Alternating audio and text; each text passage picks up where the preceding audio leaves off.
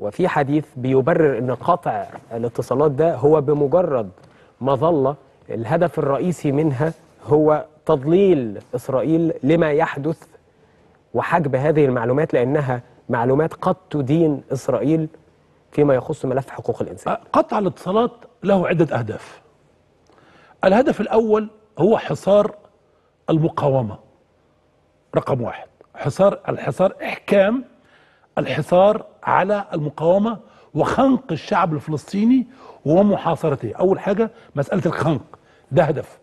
الهدف الثاني هو إجبار قادة المقاومة تحديدا والمقاومة وكل مقاومة على استخدام شبكة اتصالات إسرائيلية. وعدم استخدام استخدام الشبكة الاتصالات الداخلية المحلية لقطاع غزة. حتى تتمكن إسرائيل من التنصت على قادة المقاومة والكشف والبحث عن المعلومات من خلال أجهزة التنصت يعني الأسباب عدة وعديدة لقطع الاتصالات في قطاع غزة. أولها وأهمها الخنق والمحاصرة. ثانيها هو ثانيها هو عدم آه، التنصت على قادة حماس لأن لأن الاتصالات في الاتصالات في آه، القطاع مهمة جدا. حتى. لأنها جهة ربط وتواصل بين المقاومة. معلوم أن أن أن المقاومة الآن وهو عددهم 15 فصيل مسلح حتى الآن تجمعهم غرفة مسلحة غرفة واحدة مسلحة للدخول في عمليات قتال مباشر واشتباك عند بدء الاجتياح البري أو المناورة البرية. قطع الاتصالات يفيد الجانب الإسرائيلي في الإحجام والخنق والحصار والتنصت على قادة الفصائل. فضلا عن قطع الاتصالات ده يا أستاذ أحمد بيبرر أو بيؤكد على فشل المخابرات الإسرائيلية في آه، كشف مخطط حماس في 7 أكتوبر؟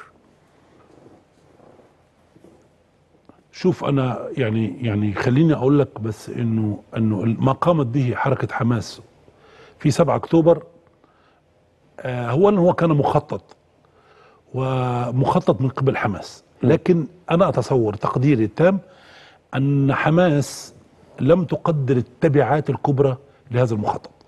حتى إن حماس البعض منها يقول أن الاستيلاء على الرهائن وخطف الجنود لم يكن مخطط له بهذا الشكل الكبير إذ فوجئ فوجئت حماس بالدرجة الأولى بالدرجة الأولى فوجئت بالمشهد بالعدد الكامل الكبير. بالعدد الكبير إحنا نتحدث عن 250 رهينة وأسير الفرق بين الرهينة والأسير الأسير هم الجنود أسرى حرب. المقاتلين نعم. المقاتلين ال- ال- الجنود في الجيش الإسرائيلي أما الرهائن فهم المدنيين. مدنيين. هم نعم. الرهائن فهم المدنيين.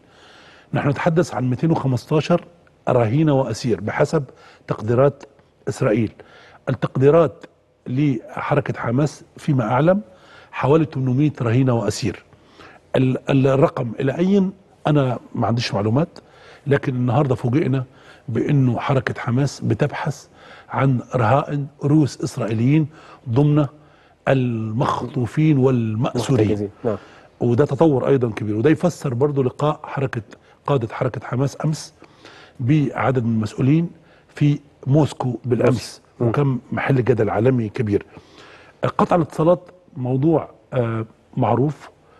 كان هدفه زي ما قلت لحضرتك هي حصار حصار قطاع غزة قطع التواصل قطع التواصل والاتصال بين قادة الفصائل أيضا كما أشرت انفا بأن عملية إجبار قادة ح- قادة الفصائل على استخدام شبكات اتصال إسرائيلية حتى تتمكن إسرائيل من التنصت على مقر العمليات.